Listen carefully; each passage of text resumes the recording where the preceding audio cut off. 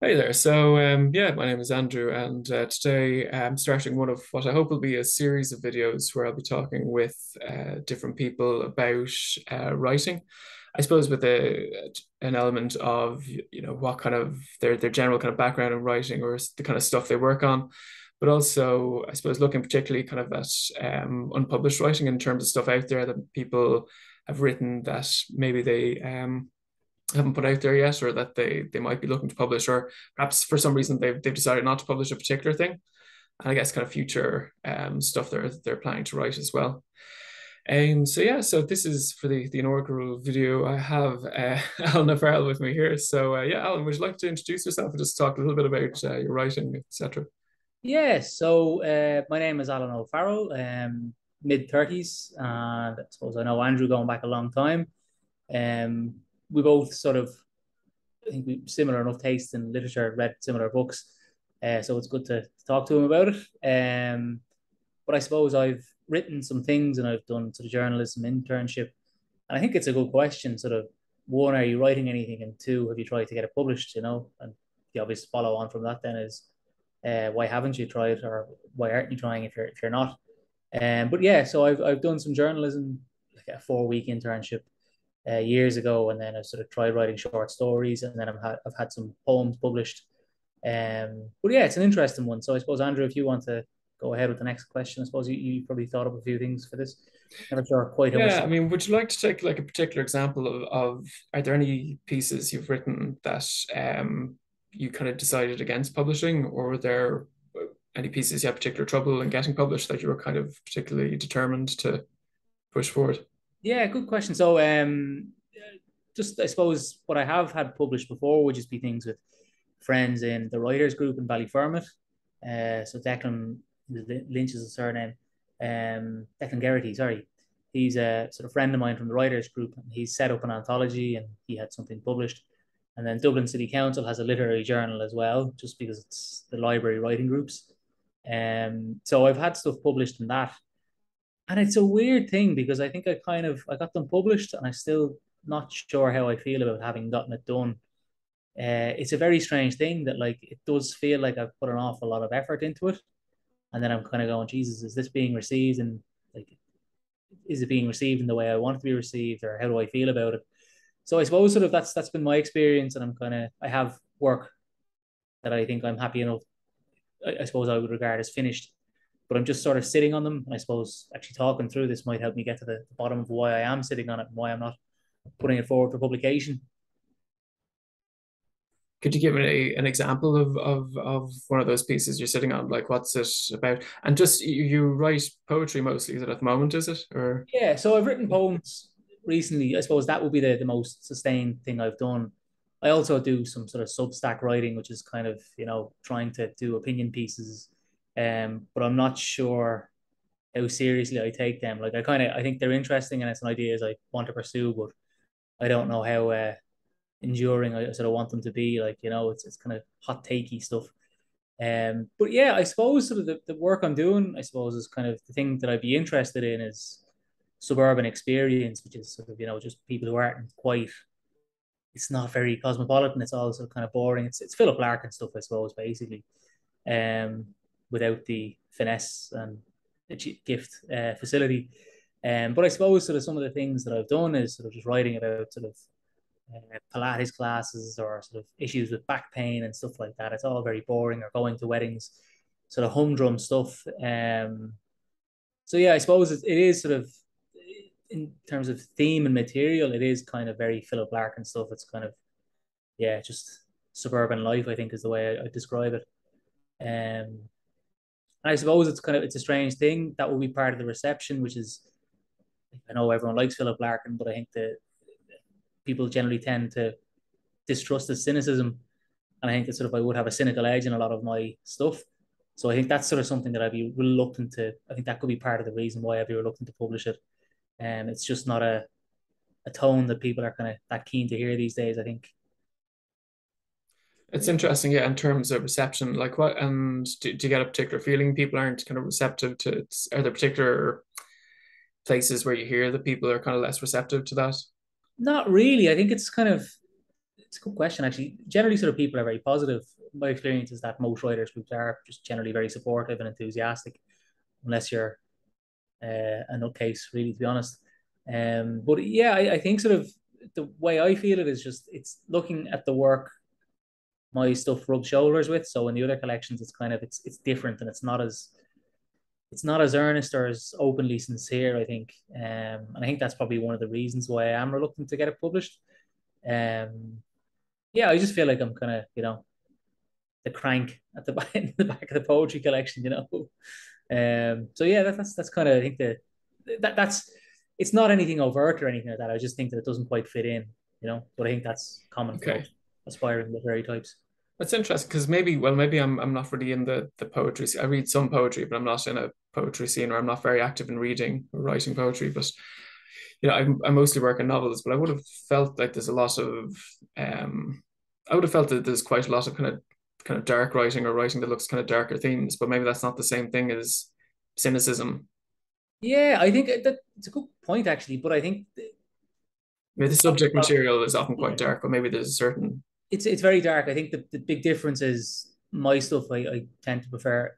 I, I tend not to think of it as being obviously confessional. Like I'm definitely trying to work through some things, I've, some experiences I've had, but I'm just I think I feel like a bit more reluctant to put myself front and center. You know, um, like I suppose it's sort of it's all very Sylvia Plath and Ted Hughes. I think are probably the two major influences these days in terms of contemporary poetry uh, I don't know, I'm not 100% on that, but that's my general impression.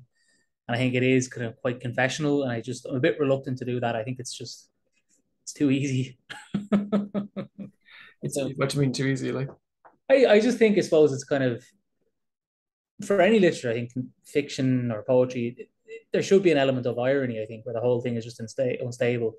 Mm. Or presenting yourself as sort of just this confessional, tortured artist, you know, who has all these wild emotions it's just you know it's kind of when you're sitting down you're trying to sort of mediate the experience through a sort of a new way mm. i think the sort of the wild emotions you know are kind of yeah it's a bit it just feels like it would be too easy for me to do that to do to sort of write these sort of Kurt Cobain-esque lyrics, you know?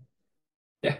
well, it's interesting. Yeah, my own work. So I, I work in kind of novels more so these days, but like, um, yeah, often some of some of the subject matter can be very dark, or some of the um, for, for I think I, I, I know you were uh, re- reading a novel I was working on, the Stigma play, but the some of those the scenes within it in their own right are very intense, but it is a very metafictional work, so that it's very much about um, how scenes are constructed or can be used to manipulate people, etc. Um, but I think yeah, that sounds kind of interesting. Your your own experience, yeah, about um, yeah, trying to have a certain level of detachment or not try to put yourself across a, a tortured artist if you're living a particular type of suburban experience in your own life. Yeah. I suppose it just feels like a lot of poetry just to me sounds like it's people's diary entries. Mm. And I think it's gonna that, that is just a bit easy, I think. Okay. yeah, but it's it's uh they're representing their own experience, like they're staying in their lane, Alan. yeah, that's good. I've missed the point, I think. Uh, but uh, no, the, the, that sort of metafictional kind of thing is quite interesting. But I suppose the I suppose I suppose a lot of the time I spend my time in terms of trying to make submissions for, for novels and things. There's a particular way that that works in terms of approaching, say, literary agents, agents or um, maybe small indie independent kind of presses, etc. But I suppose within uh, getting published with poetry is that that might be a slightly different um, process. Like a book of poetry, for example, would be. I, have heard that a lot of the time it's almost like you have to be invited yourself to, to publish a collection. Yeah, my my understanding that that's basically it. I suppose you submit to some of the journals, um, and they will generally invite you. There's only a few main poetry publishers, I think. Um, mm and I think a lot of it's sort of regional press. But yeah, it is basically you're invited once you've submitted to the relevant journals. But I think uh, another thing as well is that sort of it's just I think you do kind of there's quite a networking element to it as well. I think you have to be sort of on people's courses and things like that, and just it's just again, it's kind of not really what I would like to do. I think a lot of it's sort of I, I do kind of get the impression that a lot of poetry does involve going on courses and things like that and sort of networking like that. Mm. Um, Yeah. I suppose it's kind of it's it's interesting because there is like a lot of just this is kind of what I was talking about before. I think we recorded. There is a sense in which there's a bottleneck. There's a lot of stuff that's good enough, I think, to be published, but just people aren't putting themselves forward for it. Uh, and then it's, I suppose it's kind of how do you decide what to put a marketing budget behind, which is probably a bit more fictional, you know. Um, so yeah, it's kind of it's, it's interesting just thinking about what the publishing industry is like. I suppose what values is it trying to promote? I think is it trying to promote any specific values? Um, but I haven't really gone that far down that road, like really to be honest. Yeah. I know within the publishing industry they're trying to diversify voices, etc. But I do wonder sometimes is, is the value just kind of uh, constant violence, environmental degradation. Yeah, yeah, yeah. okay, maybe being a little bit silly now. Uh, yeah, yeah.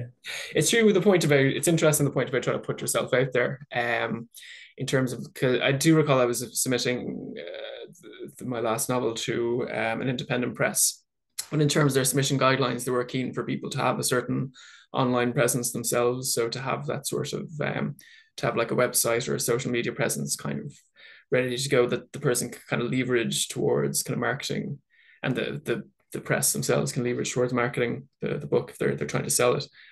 So it's um it's Yeah, interesting. I, I mean, I suppose it's kind of that's that's just more irony involved in the whole thing, which is, you know, it's it, it, it sounds kind of very adolescent to be making this complaint, but I think it's kind of, you know, um, it is supposed to be someone's experience, but then it's you have to do all this other stuff that's like it's not.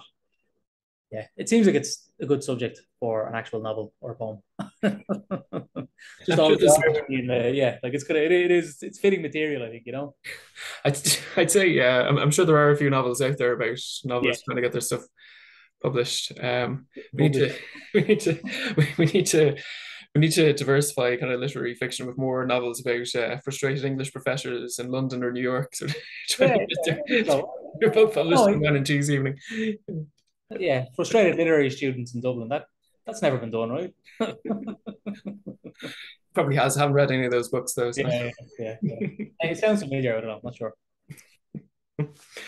yeah and um do you have kind of any um future kind of book plans or or um, writing plans that you're kind of looking into at the moment Not really. I would like kind of because I've got like about 12, probably 10 or 12 poems I'd be happy enough to get published.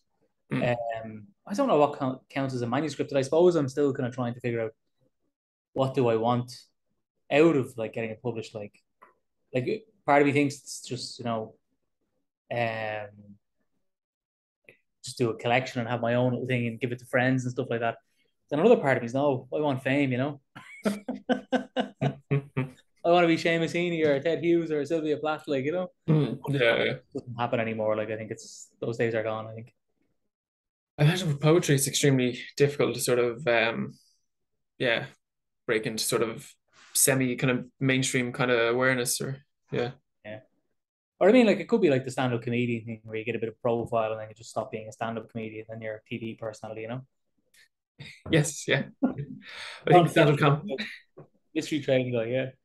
I, I don't know if yeah stand-up comedy I mean it used to be a jumping board into getting onto a sitcom I think but now it's probably I suppose maybe the Netflix special is maybe the the whatever the the golden Yeah. The, the golden ticket or panel shows, just being one of those people on a panel show, that'd be great.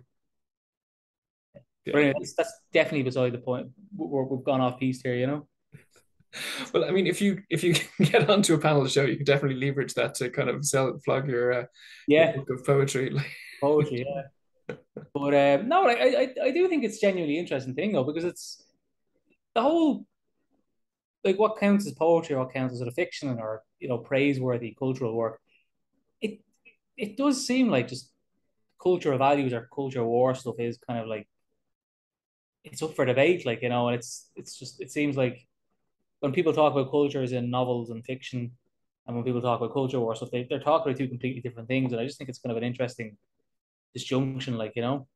Um, Yeah, I suppose culture, if you're talking about culture wars, like within, you know, if you're trying to put something out into the Western canon, I suppose it can, it might, people might feel it'll get some attention. yeah, yeah, yeah. But yeah, it's it's yeah, I, just think it's kind of when people talk about culture so much, it, it doesn't because it is like it's sort of a hot button topic, like you know, Mm, or Michael D. Higgins or Una Mullally just talking about culture all the time.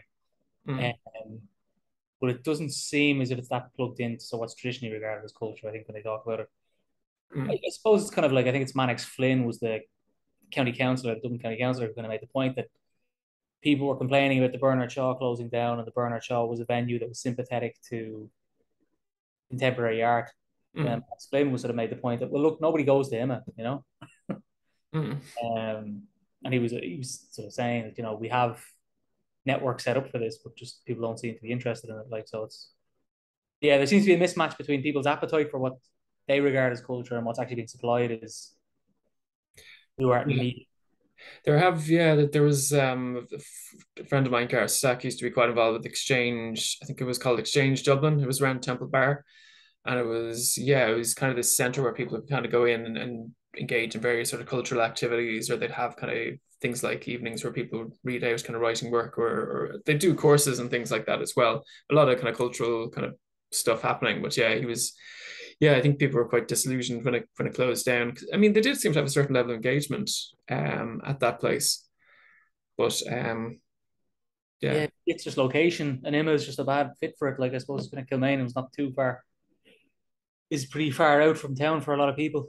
Mm, yeah, it's it's a it's a bit of a trip, yeah.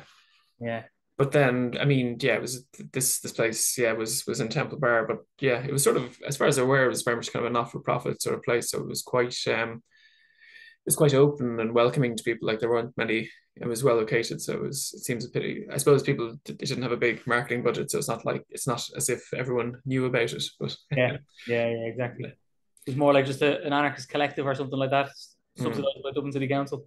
Mm.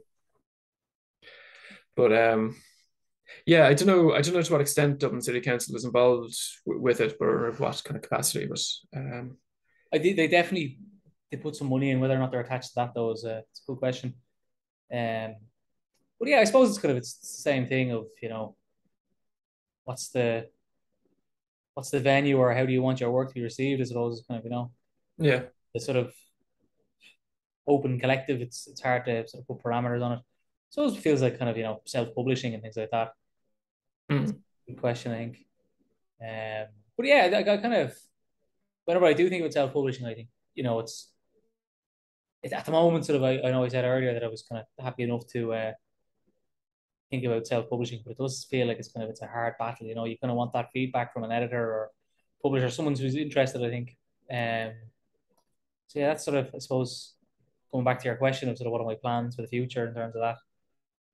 Yeah, so you're kind of exploring self-publishing. I suppose it can be tricky. Like it can become a bit of a money pit if you're if you're looking to to hire an editor for for your own work, or then sort of get it printed, or um yeah if you don't yeah i suppose if you don't have the sort of the um say the momentum in terms of you know knowing whether people are going to buy it or not yeah it is quite risky if unless you've got money to burn like I, I suppose it's kind of you know even just like to have a an editor. It's like that part would always be in the back of your mind, going, you know, are they just being nice to me because I'm paying them, or you know, and if they weren't nice, you'd be kind of going, it was a bit harsh, you know. this guy's a hack. He doesn't know what he's talking about, you know. well yeah, i suppose yeah an editor would have to i mean any editor would have to to kind of ask you to change something like or else they'd probably feel even if they felt it was perfect otherwise they'd feel that they weren't kind of yeah, earning their exactly. earning their keep Yeah, but um yeah i, I imagine most professional editors are very diplomatic while also probably trying to give, give a, a paying fair bit of business. input You need me, you know. exactly yeah yeah yeah so i suppose we probably we could probably wrap up soon but um i did want want- just maybe to finish like on a, on a positive note like is there any is there one piece that you've published that you're particularly proud of or that, that had a particularly positive bit of feedback from from from somebody that wasn't your your ma or Um, yeah, I kind of like I've been kind of reluctant about sharing it because it does feel kind of weird. Like I have the two books, the things are published. Um, I'm kind of just not really looking at them. It's like listening to yourself on a recording. It's excruciating for me. I think. Um, I'm way too sensitive about this. I think, which is again an ironic mixture in terms of the cynicism. Um, but yeah, no, like I've kind of written something about uh, tidying up a flat. It was it was a strange experience. It was just sort of like they kind of left in a hurry. Um, I suppose it's kind of that would be sort of the best thing I've done in terms of exploring and experience. It was troubling because when I was actually sitting down thinking about it, I was kind of thinking like, you know, this was like the people had left the flat like two months earlier. was someone I know who owns a rental property and they've gone. But I was kind of thinking about going, Jesus, this was an eviction. it was like, that's what that was like, you know, it's bald term. And uh, yeah, it was good. It was, yeah, it was interesting. Like, might send it on to you when I get a chance, but um, yeah. yeah, do do. Did you get some feedback on it, or that you? Yeah, like they published it. And they just said, yeah, that was that was an interesting piece. But it's kind of again, it's it's the attention economy. You know, it's kind of not many people are able to uh seem to have the time to critique stuff. I think meaningfully. But yeah, yeah, I'll send it on. Cool, cool. So speaking of the the attention economy, I'll be ho- hopefully uploading this soon into the the uh, the the interwebs, the world. so thanks very much for yeah, thanks very much for joining. Was was there anything else you wanted to add, like just for the, no, the video itself? Just to, because it's sort of things have been rattling around in my head, like because it is something I know that like it's kind of on the one hand the material probably seems kind of cynical and hard edged, but then on the other I'm like Jesus, I'm very sensitive about it, you know. Yeah, well, I suppose you you you you might be cognizant of how people might uh, respond to your work. Yeah, yeah, yeah. Um, yeah. How do you feel about it? Do you similar things, or are you kind of distanced and you're happy with it? Um, I suppose a lot of the, the work uh, that, that I do is perhaps quite transgressive sort of space and it's quite speculative as well. So it wouldn't be, there might be kind of elements of realism scattered here and there, but um, yeah, some of the work I, I do can be quite um, challenging to people just on a maybe emotional level or quite conf- confrontative. So it is something like with my previous novel, like theme was kind of about mental health stigma and its kind of vexed relationship with the psychological horror genre. So there's, you know, there is a lot of material in it that I feel people might kind of um, take quite badly if it were read out of context. Yes. so that's probably something that's probably a bigger concern rather than what, what people will think of, of me personally. Um, yeah. Yeah. It's good point. Or rather taking the work and then perhaps feeling that I'm being in some way hateful or yeah. something like that. The material is sufficiently transgressive that you're not worried about them worrying about the quality of your soul or the beauty of your soul or something like that. Yeah. Or even the quality of the writing. Yeah, yeah. I lost track of the technique. Like it was just uh, American Psycho. yeah. Who cares about the craft anymore? You've crossed yeah, yeah, exactly. Generated so many clicks of outrage. Stuff. Good talking, Andrew. Great. I'll uh, I'll stop the recording here. So uh, yeah, thanks. Th- just to say thanks. Uh, thanks to, to those uh, watching. Don't forget to, oh, yeah. to like and subscribe if that's uh, that's not too meta in yeah, the context yeah. of the interview.